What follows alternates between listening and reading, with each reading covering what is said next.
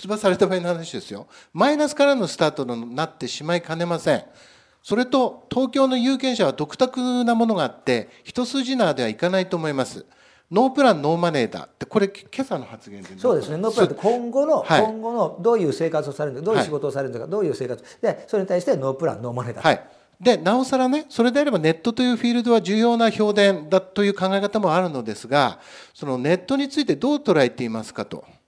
それはもうネット選挙が解禁されたぐらいですからここからだんだんだんだんですねあの広くなっていくと思いますよ。このネットは本当に無視できないあるいはこれがもう主力になるようなそういう選挙になっていくんではないかなと予想してます。うん、で先ほどのその都知事選の話なんですが、はいはい、都知事選って行われる行われないもうそういったもんまだ全然わからない段階で、お答えする立場にないっていうことですよね。うん、そうですね昨日会見でおっしゃってました。全くわからないですよ。ですから、もう予定もつもりもないと。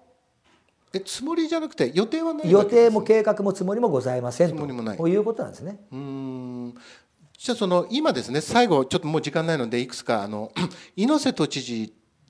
今あれ住民票って東国原さんってどこにあるんですか？東京です。東京ですね。じゃあ東京都民あるいは一政治家として今やっぱり猪瀬都知事はかなりもう、うん、指名疎開の状態になってますけど